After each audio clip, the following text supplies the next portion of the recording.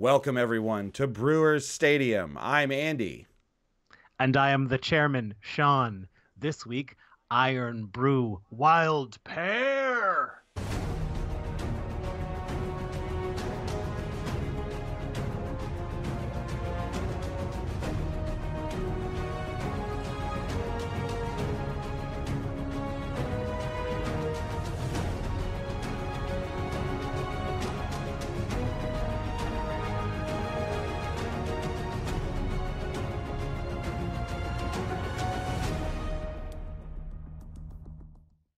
Welcome back, everybody, for our second Iron Brew episode of Commander's Brew. It's Andy, it's Sean, the chairman is here. This is going to be a great one. Yeah, uh, we are doing. This is another Iron Brew. If you're just tuning in, the Iron Brew is is the, our new episode idea where one of us, the ch- I'm the chairman this week, gives the other one three cards that must be used in a deck. Uh, the commander must be those colors. In this case, it will be a Sultai commander. Uh, and anything goes. We'll just see what the other person comes up with. As always, we're always we're we're gonna brew decks on a budget. It's gonna be under fifty bucks. We're brought to you by uh, a few generous organizations, entities, if you will. Uh, the Wizards Tower, wizardtower.com. Uh, Ultimate Guard, sleeves and boxes, got them boulders and archives, and of course our patrons, patreon.com slash commanders brew. That's where to find us. And one of the reward levels for at one at any reward level, no matter what. If you're uh, donating through Patreon, you have access to our Discord, and which includes uh, where we put the challenge to our Discord as well. So we have these decks brewed. Uh, we're about to record them, but we will maybe I'll maybe like upload a little follow up thing as a bonus just to talk about the kinds of brews that our Discord came up with with these challenges to see how they differ, if they differ, and what other angles they use. I love that idea. Check out our YouTube for that as well. Um, Mm-hmm. uh, YouTube.com slash Commanders Brew. You can find us also putting up our um, our brews news segments separately, so you don't have to wait till the end of an episode or fast forward if you want to rewatch uh, one of our brews news segments. You can just go there and sort of catch up on some old ones if you if you missed any, or uh, yeah, you can go there and check those out. There's a much You more know- visual aspect to it these days than there used to be. Uh, we really go all out these days um, Yes. as far as the brews news segments go. you know, and uh, you know, the Brews news segments, you know, maybe you got a Magic friend who's not a commander player. Those are real shareable. Uh, on, that's uh, true. social media, Yeah, they're not, right? those are not commander specific uh, necessarily. yeah, I mean, they're usually dealing with cards that we play in commander, but Magic Magic players in general will know what we're talking about when we go to those. yeah. Uh, Okay. This, uh, first of all, last week's episode, I challenged Sean with three cards, and uh, Sean came up with a great brew. Uh, it was a very interesting brew, uh, very, I'd say, quite spicy if we're talking about the cookout level of uh, of uh, of brews. We saw, saw a lot of cards we're not usually we're not used to dealing with, and I think we're going to see some of that here today as well. Oh yeah. If we were to, yeah, if you're talking about like uh, Commander Cookout, Yeah. their spicy thing. Exactly. Yeah. yeah. Uh, if I understand the spice calculator at all, I will wager these are extremely spicy. Very because spicy. They're so random. Yeah, yeah, yeah. yeah, yeah. these are very spicy brews. Here on Iron Brew slash Commanders Brew, we uh, we deal in spice uh, with these episodes specifically. So um, the spice must flow. spice must flow. Spice is Dune. Dune is spice. Um, please always remember that. Uh, yeah. Well, Sean, I mean, you know, um, let's get let's get into it. Let's, uh, Chairman, what have you pre- what have you uh, prepared for us today? Oh, d- uh, as chairman, first we must throw to a wizard tower ad. Oh yes, then of course, right. We will brew. Then we will brew. Hello, I am a river herald. Yeah, I've been doing this job a long time and I had to look up what is a herald. So, uh, I looked up on my job description on Google what is a herald. It is a person or thing that precedes or comes before. Okay, so I, you know, if I'm the river herald, I'm before the river. That makes sense. I'm at the front of the river. Uh, we got a herald of secret streams. That's great. Before those, river herald's boon. That's my boon. I got a boon. Boons are great. Uh, but then got a new got a new person showing up shadowing me, the forerunner of the heralds. Forerunner is also before. This guy is before the before the things. How many layers deep does this go? Okay, you know, each time we cut out the middleman. That's why you need to go to my website, onlyoneherald.com, and sign my digital petition for underwater. I'm gonna take it to Comenda anyway. If you can't go to that website, I have no idea if it works yet or if it is a thing. You should go to wizardtower.com, the Wizards Tower. You can get free shipping on Magic singles anywhere in Canada if you spend $15 or more. Uh, use coupon code I Love Brews to get an extra 5% off, and you can get 3% kickback on your next order. Uh, and then eventually go to Forerunner of the Wizard's Tower and Herald of the Forerunner of the. You see, it's too many loops. There shouldn't be a Forerunner of the Herald. I don't like them. Yes, another hilarious ad featuring characters from the current block. you can always rely on that. if nothing else in life. okay. Ah, uh, yes. As chairman, Andy, your challenge is to brew around the following cards Wild Pair, four green green for an enchantment. Whenever a creature enters the battlefield, if you cast it from your hand, you may search your library for a creature card with the same total power and toughness and put it onto the battlefield. If you do, shuffle your library. Okay. Your next challenge, next card is a split card. This is a Driven to Despair. On the front, one in a green for a sorcery. Until end of turn, creatures you control gain trample and Whenever this creature deals combat damage to a player, draw a card. And while this card is in your graveyard, it has Aftermath for one in a black sorcery.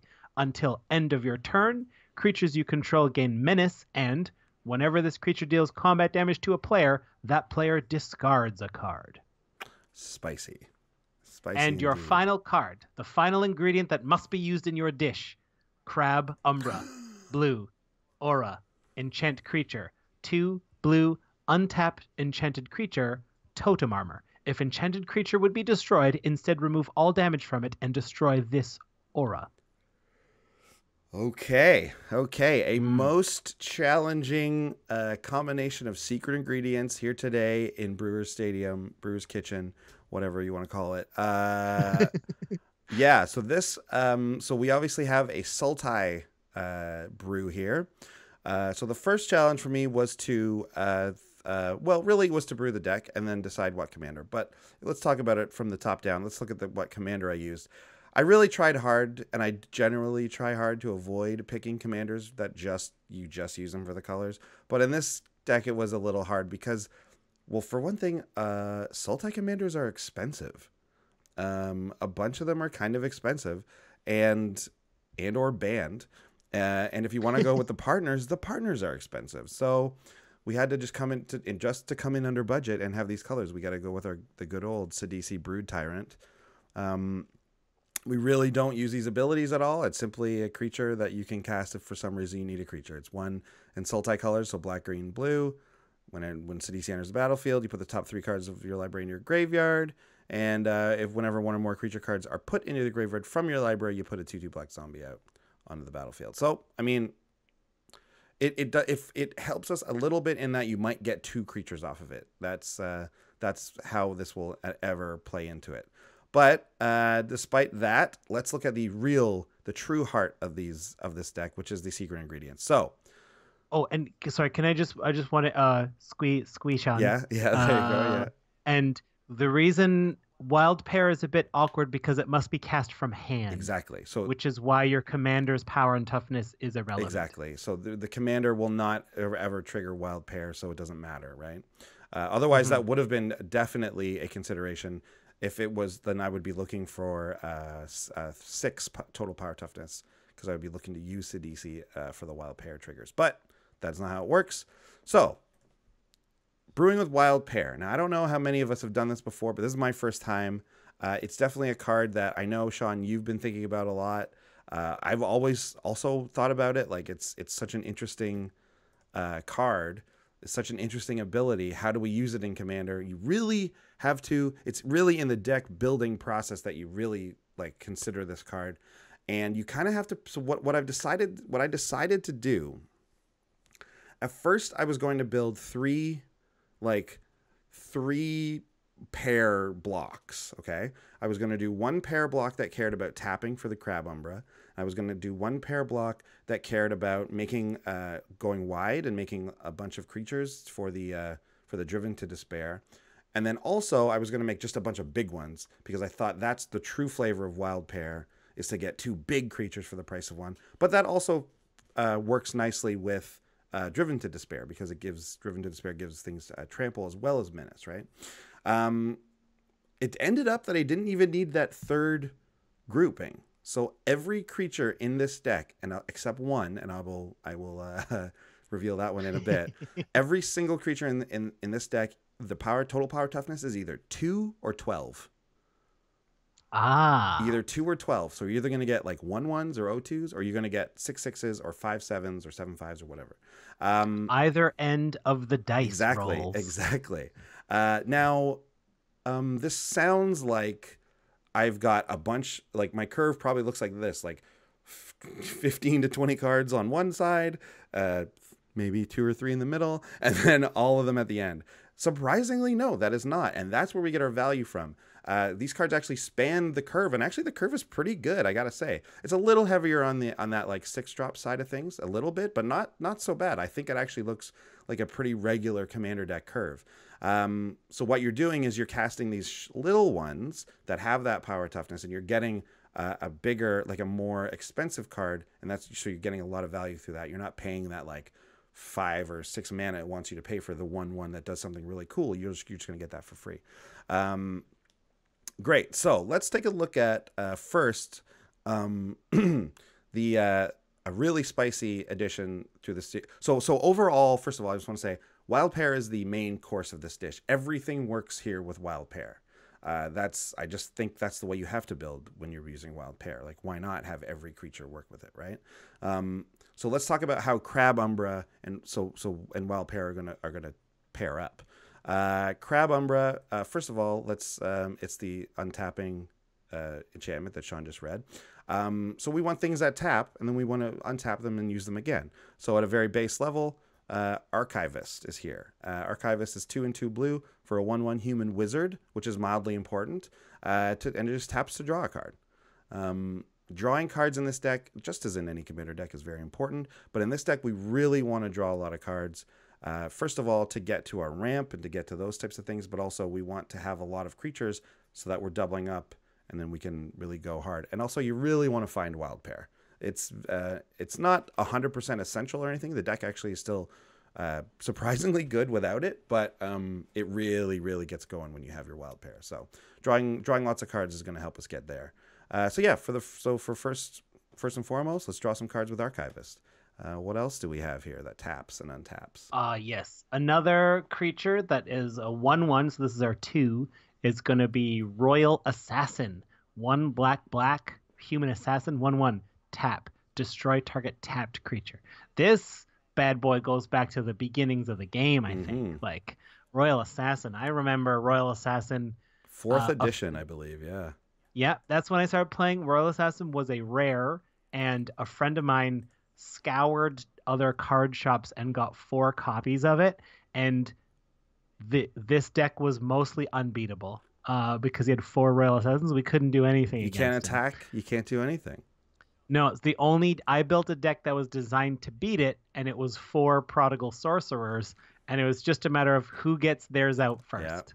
Yeah, Right. you can ping theirs, but then they kill yours back. But at least they both died. I'll but tell you like what. if I can cast mine first, his will have summoning sickness first. So like Right, like yes. and then I'll just keep them off the board with my prodigal sorcerer. Well, I can tell you right now that you can do that yourself in this deck because Prodigal Sorcerer is also in this deck uh, because it was a classic tapper. So two classic tapping creatures there: Royal Assassin and Prodigal Sorcerer. oh Uh, yeah. and they're also both one ones, right? So that makes that's uh, Yep. that's great.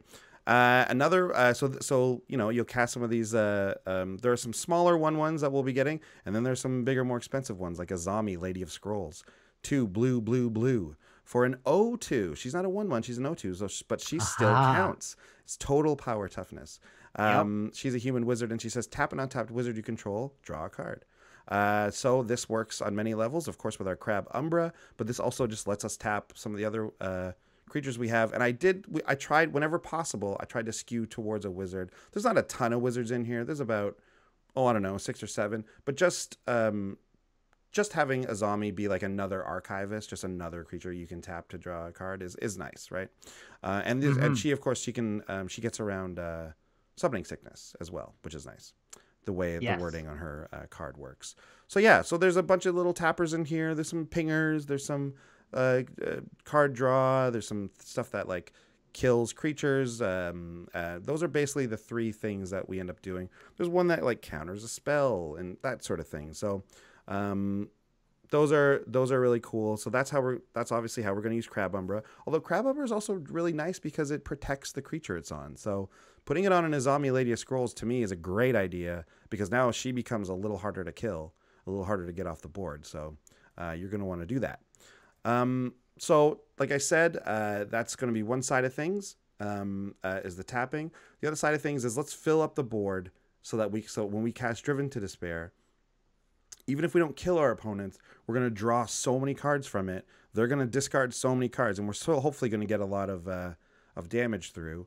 Um, but if we have a lot of our little guys, which tends to happen at the beginning of the game with this deck, uh, we just want to get through and get a lot of card draw. So that's one side of using Driven to Despair. Not necessarily to win the game, but to get into the position where we can win the game. Uh, so let's talk about this card uh, first on this one. Sean, why don't you read this one for us? Okay, we've got Kazandu Tuskcaller, one and a green for a human shaman. Uh, this is a level up creature, so starts as a 1 1, 1 1, right? Mhm. Uh, and can, for one and a green, levels up. So level up is only unusual in the sense that creatures don't start at level 1. Right. Right. Yes. creatures start at level zero. So you got level one, nothing happens. But between level two and five, you can tap to put a 3 3 green elephant creature token onto the battlefield. And then if you get to six, tap, put two of those onto the battlefield. So, you know, do you want to just stop at two? Is it worth investing into six? I mean, if you've got nothing better to do, maybe, but uh, you might, you, you, it's, it's reasonable to stop at two and then just start cranking out elephants. Yep, uh, just a good mana sink. Also, uh, if you've just got two mana lying around after you've cast something for your turn, like doesn't hurt to put it to level three. That's just a little bit closer to six, and then that will make the inevitable crab umbra that you get uh, worth it. uh, really worth it to pay the three to untap Kazandu Tuskcaller because she makes she can eventually make two uh, um, elephants for you. Although you are very happy to pay, essentially pay four no, essentially- essentially pay three mana to get two green elephants if you get Crab Umbra on Kazandu Tuskcaller. So that's nice. But also she lets us go a little bit wider, right? She get, makes more creatures for Driven to Despair. Also, of course, Hornet Nest. It's another one. It's two and a green for a defender. yes. It's an O2.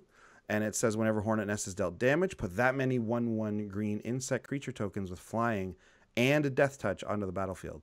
So hopefully. Chairman likes this card. Yeah, Chairman loves this card. Hopefully, we can get Hornet's Nest down, and you know, someone's trying to get in there and trying to attack us. Well, we're gonna just block your four four or five five or something, and get a bunch of little tokens, and that's gonna be very good for Driven to Despair, Oh, wow. as well as just being Yes. good blockers, obviously, right? So like you, generally, people won't even want to attack into you if you have Hornet's Nest out because of what you can get from it, right? So it's almost like it's not even a threat of activation; it's a threat of like threat of what will happen if it if Yeah. you block with Hornet's Nest. So um, it's a great card. We, we we we also like the going wide strategy because it allows us to buy time again until we can maybe find our Driven to Despair or find our uh, Wild Parrot, which is great. Yeah, these are flying death touch one ones. Yeah. Like one one death touch flying is in my opinion near perfect deterrence. Yeah. Right? I mean the, if they have first strike, they don't care, Mhm. but like nothing nothing's getting through and living. If they have trample, okay, so we chomp and we take a bunch of damage as well, but the thing that trampled is gone. Yeah, and th- this is this is really one of the great tools to uh, this. This might be one of the first things you get in this deck with with Wild Pair. Like Wild Pair ends up being a really great thing for toolboxy type stuff. So we can cast a creature, and I know that there are multiple other creatures in the deck that can help me in whatever situation is happening on the board right now. And Hornet's Nest is one of those Yeah. for sure. I also think that like this is also you know a lot of decks run Blasphemous Act, right? Yeah. You can't you can't wipe the board with Blasphemous Act with the Hornet's Nest out there, or else you'll be facing thirteen Yeah, Death Touchers. 13 d- uh, 1 1 flying death touchers. Amazing. Yeah. Uh, next. Ooh, a next possible driven to despair candidate is Marsh Flitter, three black fairy rogue, one one. There's that one again, flying. When Marsh Flitter enters the battlefield, put two one one black goblin rogue creature tokens onto the battlefield. Sacrifice a goblin. Marsh Flitter becomes three three until end of turn. Yep. So not like a super flashy card by any means, but it's three bodies in one, uh, which is what we're looking for here.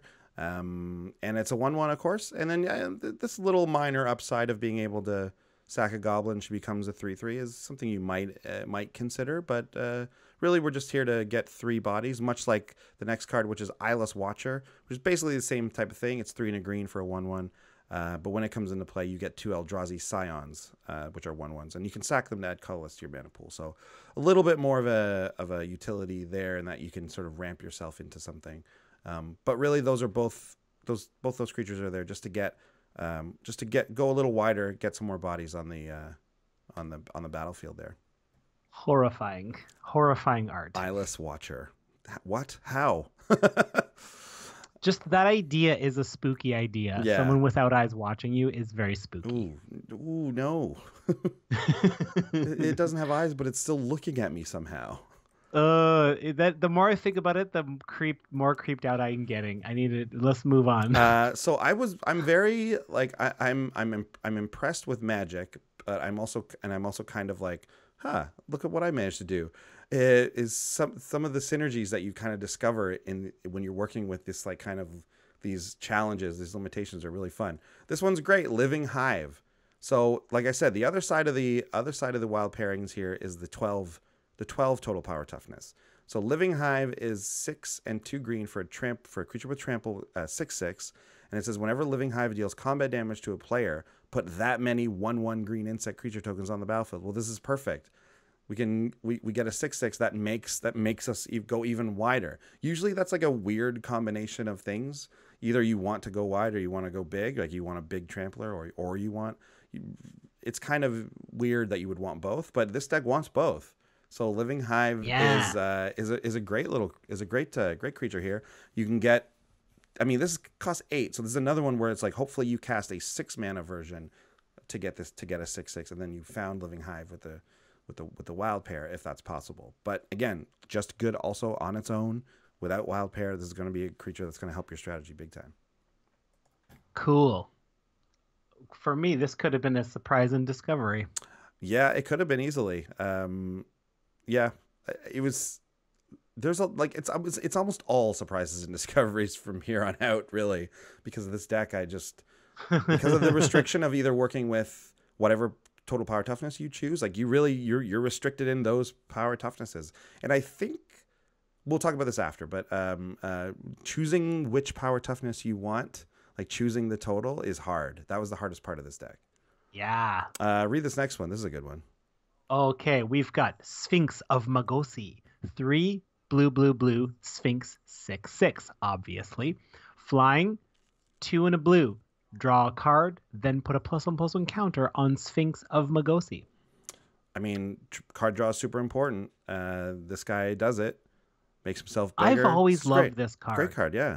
This is a great mana sink, right? Like, so three mana draw a card is a very good rate. And We can get cheaper with certain things, but if it's in black, we're going to probably pay life for it. Mhm. But just straight up three, I think. And and you make the creature bigger, and this is this becomes a seven seven flyer, and then of course, and so on and so on. Um, this works well with Driven to Despair. It works great with Wild Pair. This is awesome. This card's great. We want to draw those cards. We want to have big flyers that will that will maybe get trample from our Driven, uh, or whatever. So yeah, this is a this is a this could have been in the All Star part of the. This could have been in the three stars for sure. Oh, yeah. Sphinx of Magosi yeah. is great. The only downside is the three blue casting costs, which can sometimes, probably s- sometimes come up, but you know, just wild pair it out and you're fine. Can be tricky. Uh, here's the other side of the 12 mana, uh, the 12 power toughness is a 7 5. You don't see too many of these around, uh, but this is Bane of Bala Ged. Seven uh, generic for a 7 5 colorless Eldrazi. Whenever Bane of Bala attacks, defending player exiles two permanents he or she controls. So it's like a uh, it's like Annihilator, but it's better. It's exiling instead of just uh, sacrificing. Yeah. Oh, people hate this. Yeah, People hate it. People hate it. Um, the five toughness means that it's going to trade down a lot of times, so they'll probably just block it with a bunch of things and kill it. But um, you know, if you choose a person who simply can't do that, Bane of Ged's going to be a real menace for them. Uh, speaking especially if you give it menace, uh, it'll be a true menace. So yeah, I've, I've I think this is a really good commander card, and I'm I don't put it in that many brews, but I've, I'm starting to try it out in more brews now, and and seeing how it does, and and so far I've been I've been pleased. I've been happy with it. The chairman is also pleased. The chairman is also pleased. Uh, there are so many great big creatures, right? There's a lot of big six sixes that we want in this deck. I could have named you know ten more that are really good, but they end up just kind of and like I said, it's kind of toolboxy, so they end up doing a lot of different things. Uh, there's no real general theme between the big creatures and the small creatures other than like we want card draw and we want to be able to handle creatures and things like that like general regular stuff so um, uh, yeah these were just some of the some of the highlights uh, another thing i wanted to mention i don't we won't talk about specific cards or anything but this deck really fears board wipes. It really doesn't want an untimely board wipe to happen so it runs a couple of good counter spells. Uh, the counter spells are kind of important. And uh, we ran um, uh, diabolic tutor um uh what's the i always forget the one's name with spell mastery. Uh the the five mana Oh. one. I Oh. always forget the name of that card Give me a sec. I will scry follow it up. it's i want to say it's something packed but it's not i know it's not something packed it's ugh, anyways it's the one with Griselbrand and it's from magic origins like i can i can say everything else about it Oh, you're thinking of Dark Dark Petition? petition. For some reason, I can't get the word petition to stick in my mind. Dark petition. Yeah, run that, and I also run the new one from uh, from Rick's, uh, the one where you can actually also look outside your library. Although we don't plan to do that. Yeah. Um, Although, I guess yeah, there. You could, like, you could put. I don't know. I I- depend. I don't know how it's really handled in Commander, but anyways. Uh, I think what I would want to, if, if if we're talking about it, if we're gonna allow you to bring a handful of cards with that, just because like why not? Uh, I feel I would want to find the cheapest twelve total power and toughness possible, to just like wild pair out a big thing. right. Um, I'm gonna But search then you for would- it in Scrap. So you mean you'd use it, put it in your hand, and then then that way you can get uh, the biggest thing you want. Yeah, Yeah. I think uh, if you have that, the only way you would ever do that is if you already had wild pair, of course. Um, otherwise, you'd probably want to get Right. driven to despair, or crab umbra for that matter. That's why I didn't even really consider it. I was like, you know what, you're just going to want to find something in, in this deck. I, I'm positive of it. Uh, so yeah, those two things are important. Um, it's only like two or three tutors. It's only and it's like maybe four or five counter spells, just because I, I am really worried about board wipes. But other than that, um, that's uh, that's what you want to be doing, and it's just you kind of outvaluing your opponents in this deck. You're uh, um, every creature does something that uh, is going to help get you closer to wild pair slash uh, driven to despair or whatever. So it's all focused on those cards, and it all hopefully works well with them. Um, but that's that's that's what's going to do. And the th- now it's time for the three stars though.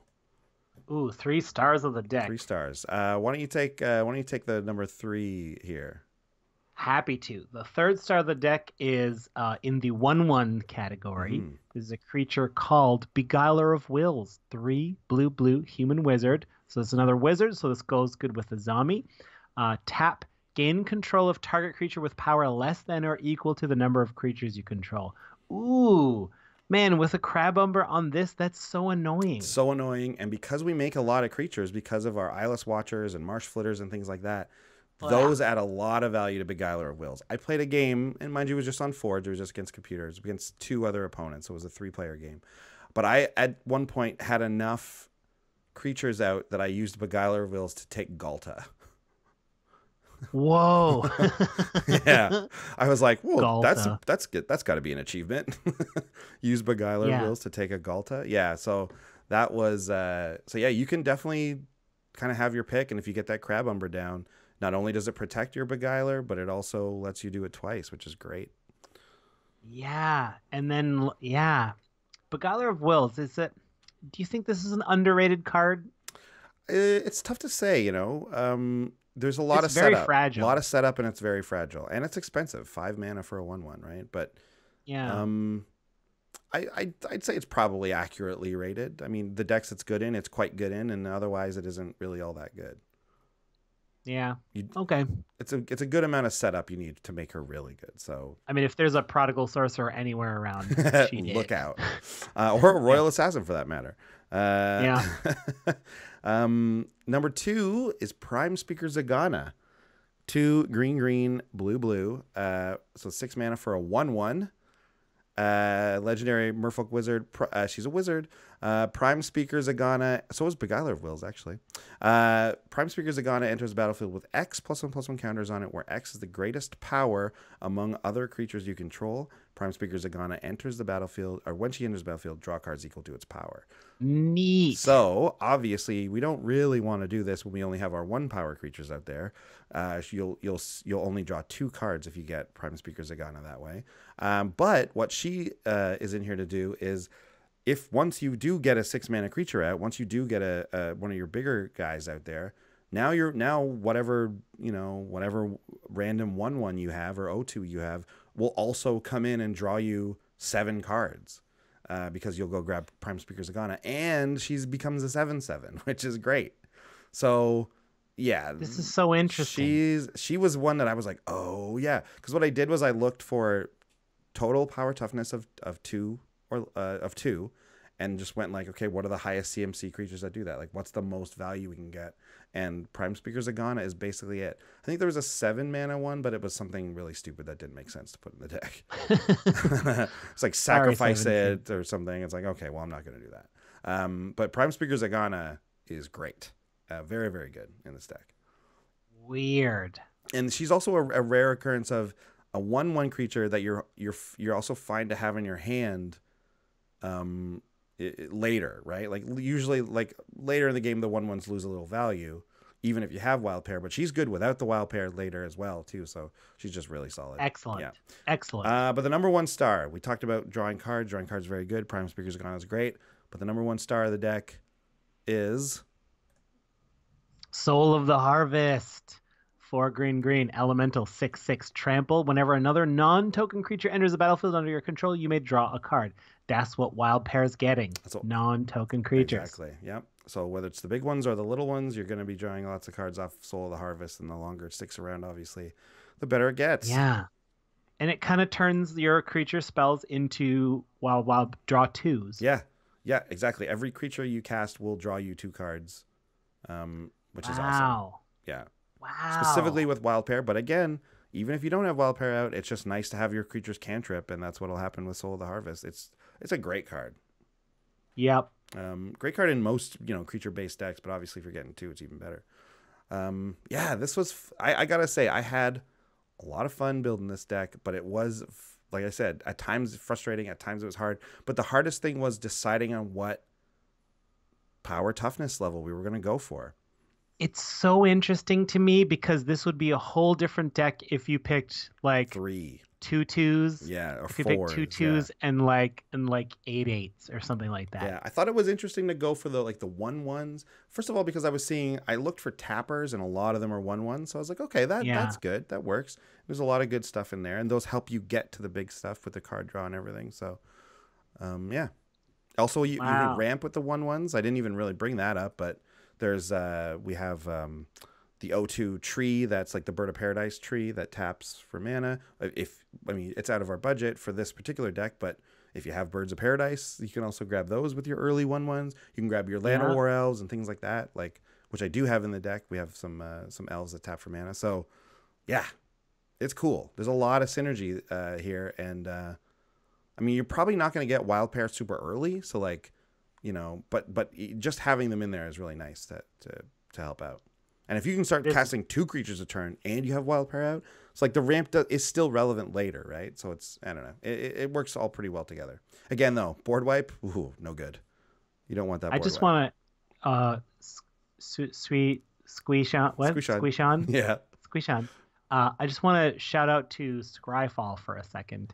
Uh, such a useful search tool for cards. Uh, you can search by, I don't know if you can search by cumulative power and toughness, but you can search by color identity, add on power equals this, toughness equals this, and just make sure that those two numbers always add up to your wild pair number and just get a nice, and then you can sort them any way you want. Yeah, I, I used Forge uh, because it, it's like literally clickable. Like I didn't have to figure out what weird syntax Oh. to type into Scryfall. Uh, but I do, of course, love Scryfall. We use it. We're using it right now.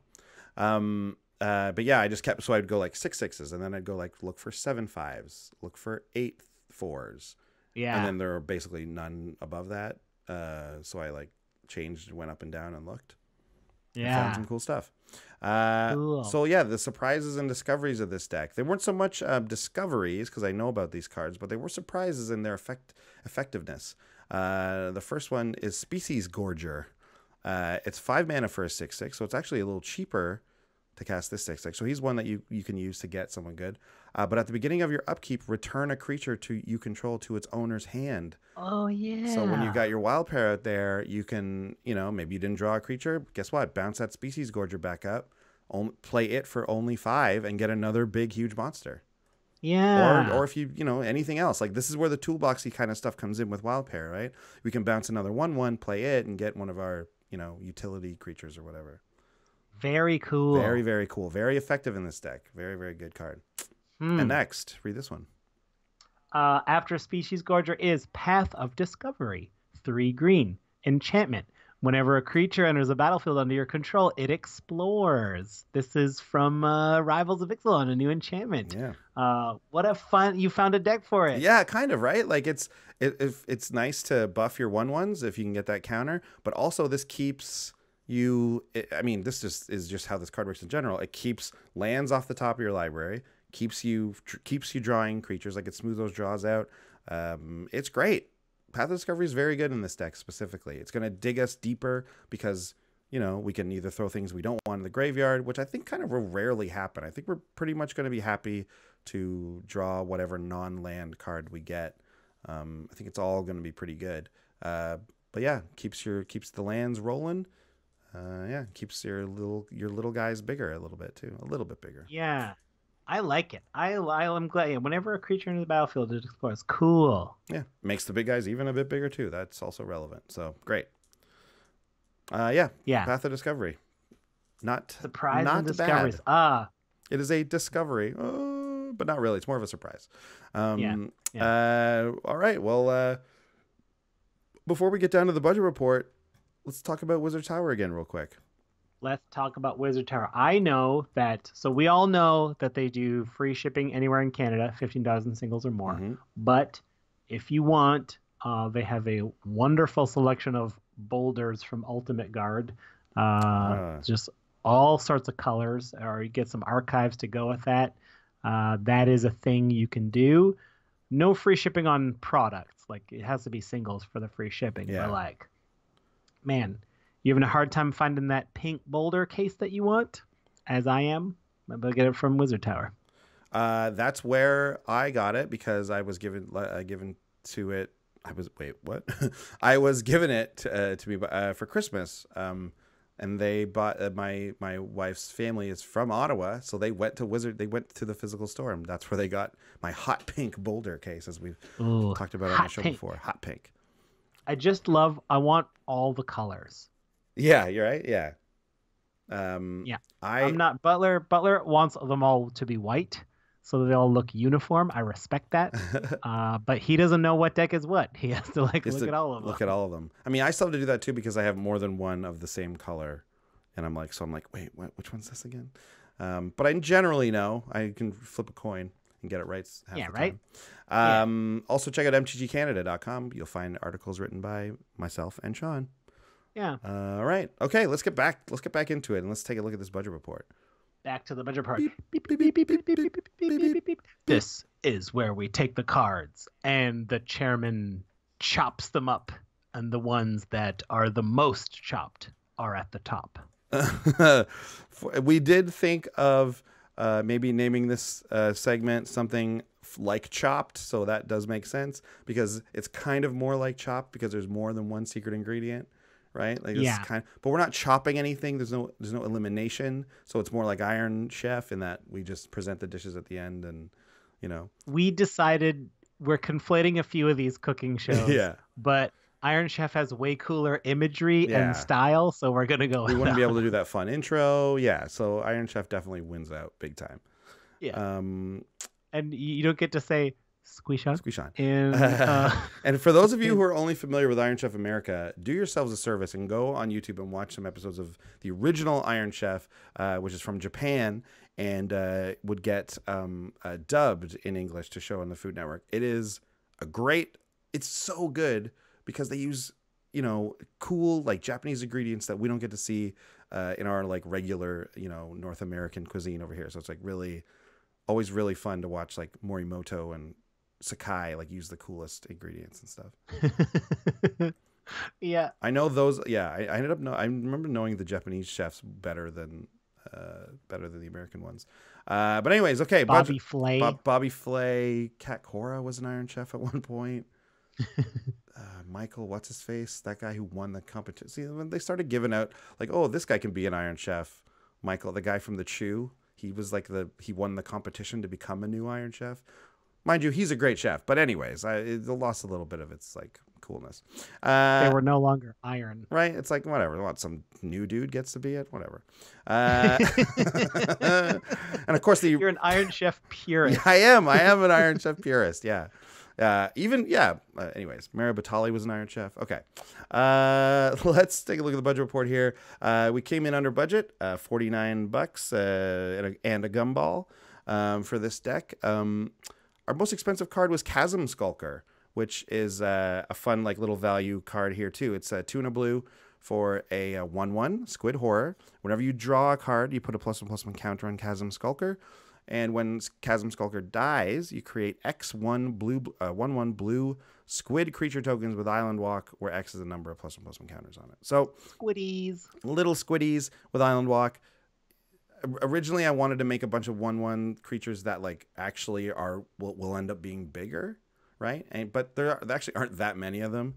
Uh, uh, Zegana is one of them, and Chasm Skulker is like the other one. Uh, so Chasm Yeah. Skulker is really good because we do have a lot of card draw in here. We're trying to draw lots of cards, and um, Ooh. just getting How big is getting this guy early is great. Oh, is a Scute Mob a one one? It probably is, right? I didn't even. Uh, I didn't. I abandoned. Bob is a one. I abandoned that. Um, I abandoned that uh, uh, that plan kind of early. Um, but yeah, you could definitely Fair. throw a Scute Mob in there. Scute Mob is good because it only costs one too, doesn't it?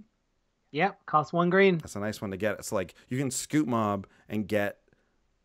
I mean, you would. I keep thinking of it like you can do that on turn one. It's like no, you no, you don't have wild pair out on turn one. You got to wait till turn six to get that. Um, Anyway, so but Chasm Skulker is quite good.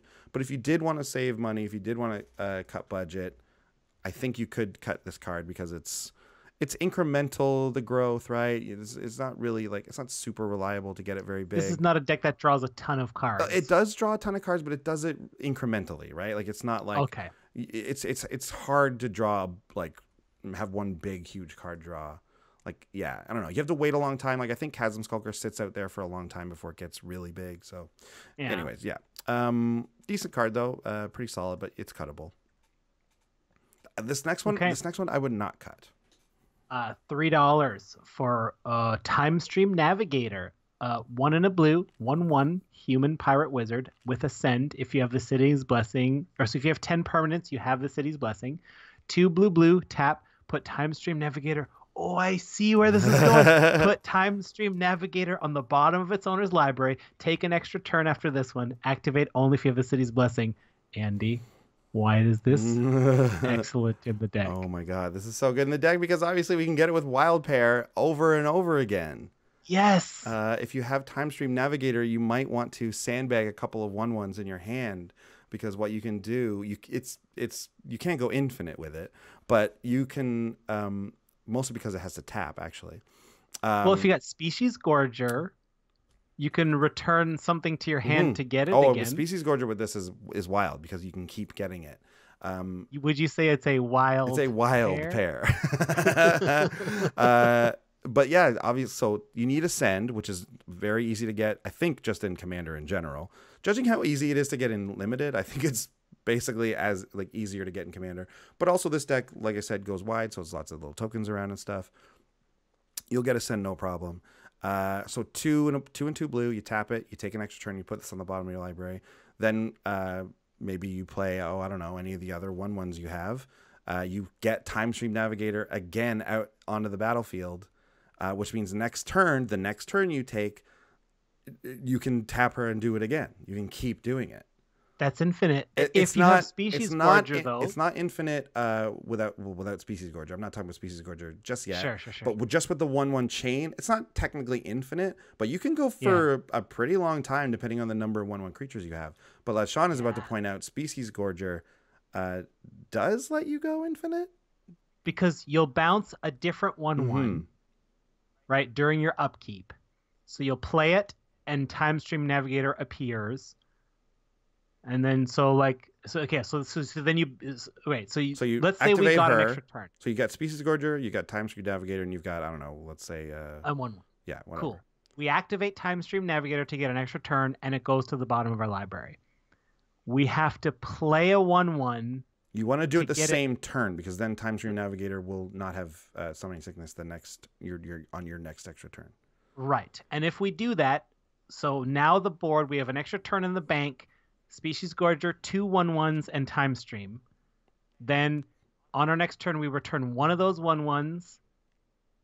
We put Time Stream on the bottom of our library for a bank another turn, play that other one one, the same one one, and then Time Stream comes back. And That's our loop. and you can keep doing that. And that that that would that is an infinite loop. Um, Yeah. Mind you, that requires time stream, species gorger, and two one ones. It's a four card combo, which is not obviously not a, a you know a true game breaking combo. And there's lots of ways to disrupt it, but uh, but that's fun. Those are the, that's the kind of those are the kind of combos I like. That's the kind of combo where it's like, okay, if that's an infinite combo, you worked hard to get that, right? Yeah. Like you worked very hard. You, your whole Disruptible on many angles. disruptible. Your whole deck is not just geared towards doing it. Uh, you, Oh, you also need wild pair. That's a five card combo. Yeah, like, yeah, yeah, yeah. You know what I mean? Like it's it's it's tough to get it, which is why I don't really consider it to be that an infinite combo. But it definitely is something that will that you can abuse if you get Time Stream Navigator out there. It's it's this. I think this is the way to abuse this card in Commander. I think we kind of stumbled upon that. Wild pair, right? Bottom of your library. Wild pair, yeah. I mean, there might be more ways. There's probably- sure people Yeah, like I'm guessing there's a way to, like Grenzo maybe can do something. I know Grenzo is black, um, um, but if you had if you had a, what would that be? A Grixis deck, and you had Grenzo out and Time Stream Navigator. I guess you could do something with that. Because you put her on the bottom, then you Grenzo her back. Yeah. You keep doing that. Maybe that that might be a more yeah, efficient that way. That definitely works. That definitely works. Yeah. Anyways, uh, it's it was just fun to discover this.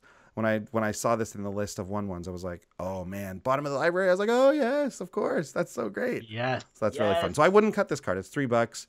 Um, uh, and but it's, only three because it's like like it's new. Yeah. People are figuring it out. Like it might not ever go. I don't know, man. I don't think this will stay three. No, will I, it? no, I don't think it will. I think I, I, it's too much. You know what I mean? Like it's not really abusable like the other time. But it, but it, it has that. First of all, it has that like mythic tax, and it has the tax of everyone loves taking extra turns. So it's. I don't. I don't know if it'll ever really go much below three dollars. Like, but um. Anyways, time stream navigator, very fun card in this deck. Do not cut it. Keep it in there. Do not cut. Um, and finally, uh, we have Baleful Strix, which is about two bucks. Uh, it's the blue black artifact flying death touch 1 1 that when it enters, it draws a card. This is a very good card, too. That you talk about a toolbox. Uh, you talk about wanting to get something out there that's going to deter attacks. Well, Baleful Strix is great because not only does it do that, kills whatever it blocks, it's going to draw you another little card here, which is yeah. so this card's awesome. Is it worth two bucks? Kind of. I it kind of is actually. Um, so I you probably could cut it, but uh, but when you're in a game and you know you just need something to stop this giant creature from attacking you and killing all your things, Baleful Strix is the thing you want. So uh, it stops flyers dead in their tracks. It's great. I love Baleful Strix actually in this deck, and I so I, I would advise not cutting it. Fair. It's actually really it's actually quite quite good. Um, Fair. Okay. Uh, you- well, But this dish, were there any ingredients for Mm. this dish that were too expensive to import? Uh, so yes, of course, uh, there are. Um, but there was nothing really specific to the decks, the way the deck works, um, that we really were like hurting for. You know what I mean? Like, I guess maybe like a parallel lives or something like that would have been really nice. Um, but Right. So w- w- what you're talking about is how like with this section we try to only highlight cards that are like really good for this particular yeah, brew. yeah, Like it would I mean we would always say like always cyclonic rift, right? Like it gets boring to hear that over right. and over. Or you know, doubling season. Okay, sure. Yeah, every just about every deck can use doubling season if it's green. Um, s- I mean, I kind of think the same thing goes for parallel lives. Like, oh, we have some token makers. Well, obviously, parallel lives would be quite good. Um, uh, I ended up just like, and because of our big creatures, it's kind of a toolboxy thing. So we just kind of want good, like it's kind of like good stuff. It's like Sultai wild pair good stuff almost. Um, Yeah. You just kind of end up wanting those general good stuff things. So like you know, Sheoldred, Whispering One is a nice big six six that can end the game and be uh, have a great effect on the game. Uh, Wurmcoil Engine is another great one that's out of budget, but obviously, but these cards are just generally good in whatever deck they go in. So there wasn't really anything specifically, but obviously these cards would would also be amazing in the deck. Yeah. Yep. That's kind of it. There you go. Well, uh the chairman is honored by the deck. you have put together a delicious dish that tastes good. Uh, the initial taste of the one ones uh, meets the tongue, and then it is filled out by the flavors of the six sixes. The twelve total power and toughness is a lovely aftertaste of the and having the crab umbra is a wonderful palate cleanser. Uh, this we are honored by this dish. uh, Driven to Despair probably being the dessert, I would imagine. Then you just add that The on at the end.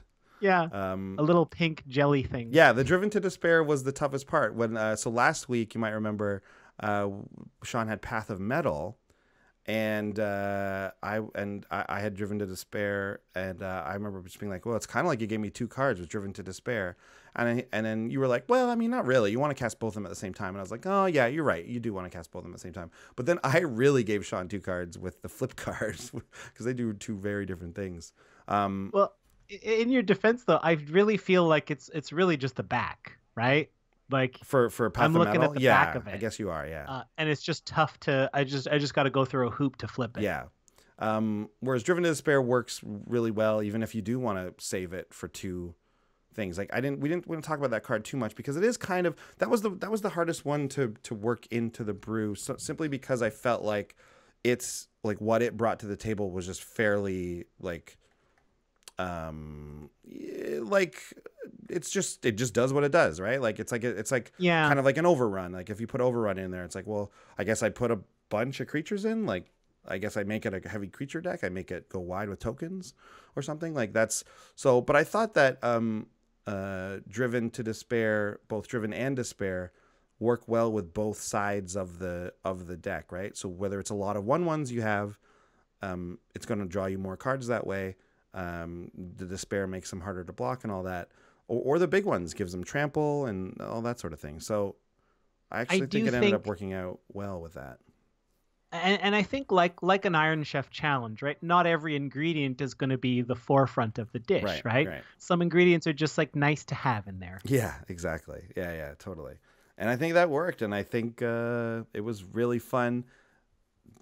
Uh, like, Wild Pair is such a weird card that it really messes with your brain because you want to pick. Like, what do you think? What, what do you think you would have done with Wild Pair? Do you think you would have did what I did, where I picked two only, so that way we could get everything? I thought about making everything be one, so like everything can get everything. I try. I, I Oh. thought about that, but I was like, I just don't think that's realistic. I don't think I can build.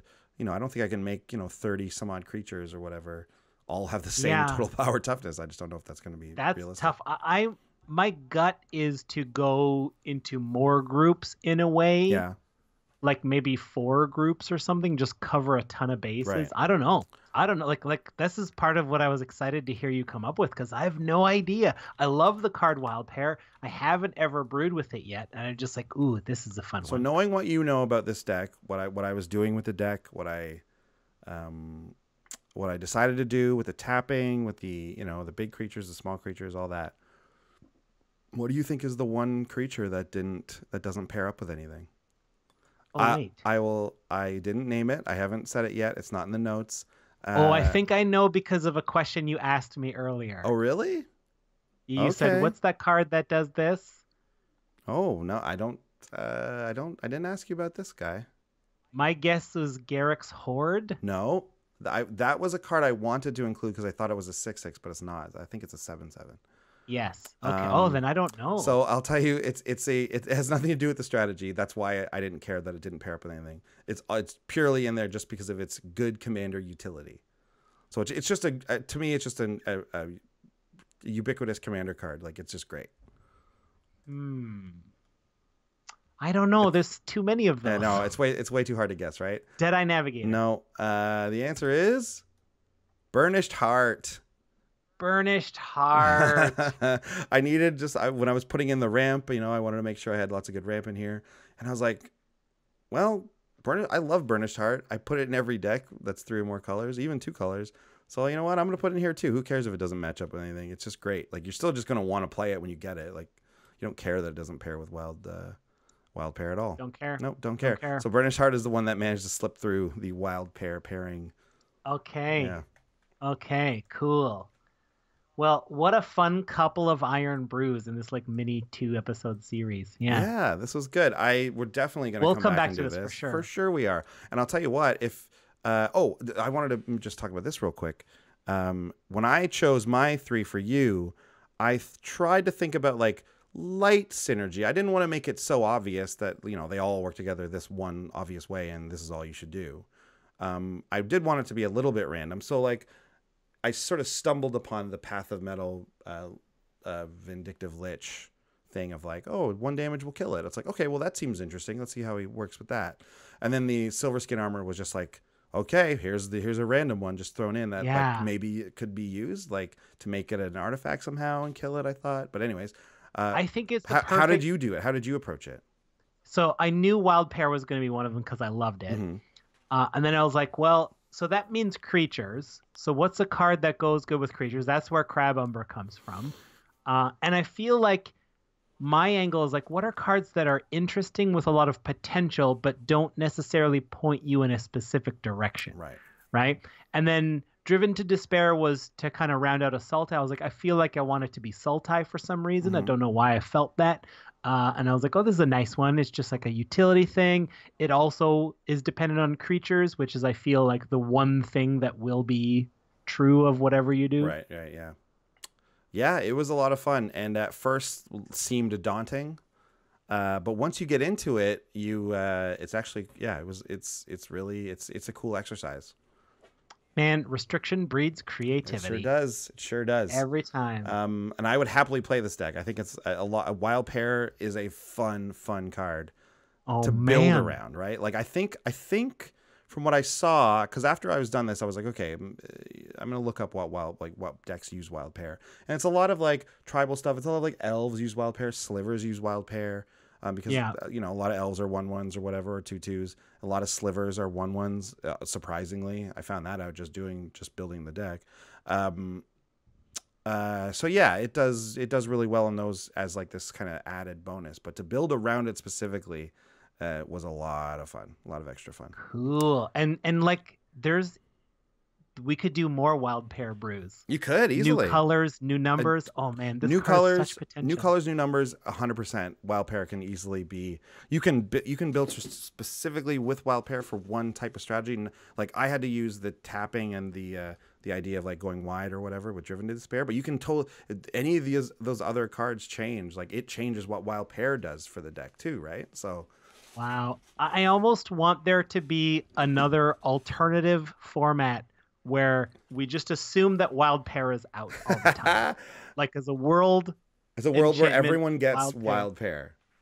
There would just be too many. I bet you there's like combos you can get where it's just broken, where you know, where like yeah, like time stream navigator. yeah, exactly, yeah. Well, you know, maybe we just didn't make the rule that kind of rule. Just I mean, maybe hey, it needs its own. I was gonna bandwidth. say maybe it has a ban list. uh, the wild pair uh, commander league. Yeah. It has its own little band list.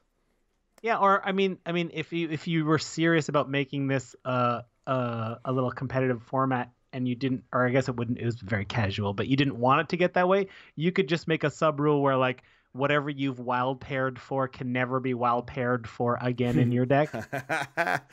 well, I mean, you know, now, now you're really. It's kind of be kind of fun to do this thing where you keep getting the same stuff, right? That'd be kind of fun. That's true. That's true. Anyway, work in progress. Anyways, yeah, yeah, work in progress. This Yeah. is a fun idea. If you have any more of these types of fun ideas, or if you have your own Iron Brew challenges, send them into us, man. Send them into us via Twitter, uh, uh, uh, at Commanders Brew. Send it to us on email. We haven't said the email because it's always in the little thing at the end, but it's commandersbrew at gmail.com if you ever want to write Yeah. us a bigger message uh, that doesn't fit into the, uh, what is it, like 200 and something characters now on Twitter? Yeah, some people use will, t- will tweet Twitter DMs with questions Yeah. about brewing and stuff like That's that. That's fine too. Yeah. But yeah, but if your question is a little deeper, right? Like, yeah, Gmail's fine. Oh yeah, totally. Write us write us an email. We we love to read it. Uh, if you're a patron, go to the you know Discord's great to get at us. We get notified when people mention us in Discord, so it's nice. Mhm. Um, yeah, get you know get in contact if you like this idea. Let also just let us know over on YouTube. Leave a comment. Hit a hit a subscribe if you're watching this on YouTube right now. That really helps. We haven't mentioned this in a while, but if you haven't written an iTunes review for us, that is very very helpful. Super super helpful. So. Um, uh, you know, if you want to just take two seconds and just go write anything. It doesn't even matter what you say in the actual review. Like just giving us the review is all is all we need. So uh, that would be a real big help. That It would. That would be huge. But thank you very much for listening. And we'll get a Brews News segment coming up right now. And uh, until then, we'll see you guys next week. Bye. Bye.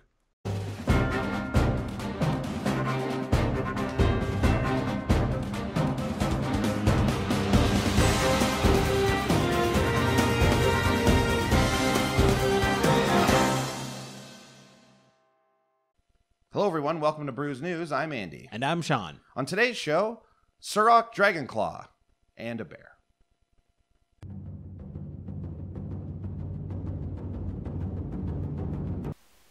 Thank you, Andy and Sean. It is I, Surrak Dragonclaw.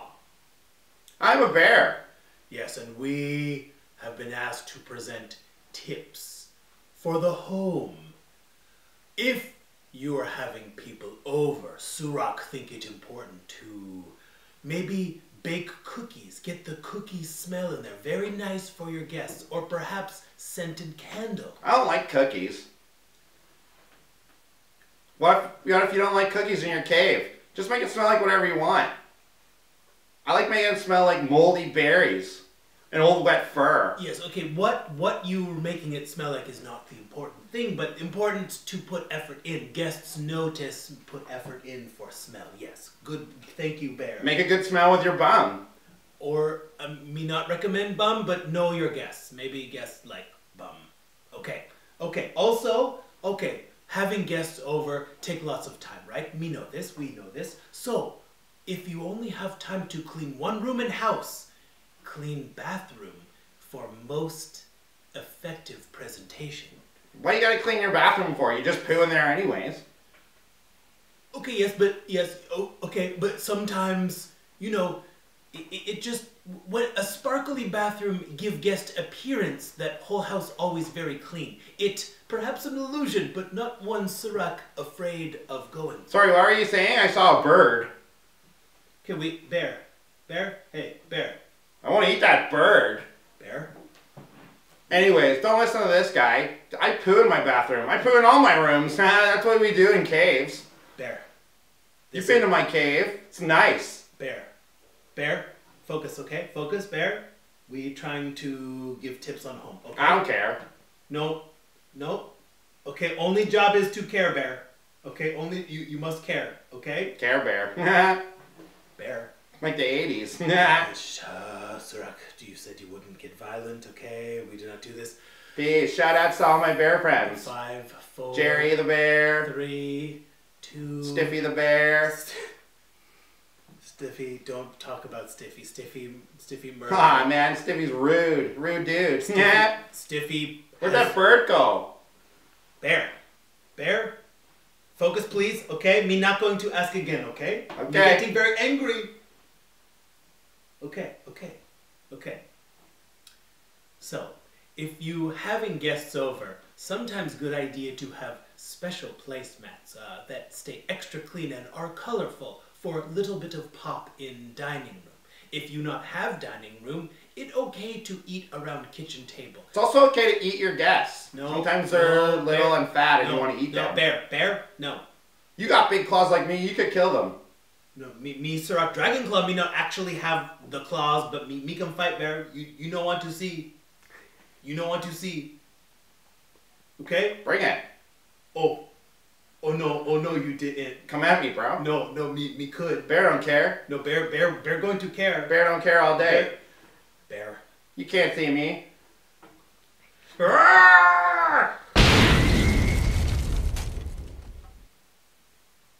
If you want to contact us, I'm at Sean Tabares. And I'm at Andy Hullbone. Send us an email at commandersbrew at gmail.com. You can find out when we go live on Twitch if you follow us at twitch.tv. And if you care to support us on Patreon, check us out at patreon.com. And you can find our deck list on tappedout.net. And if we forgot anything, commandersbrew.com.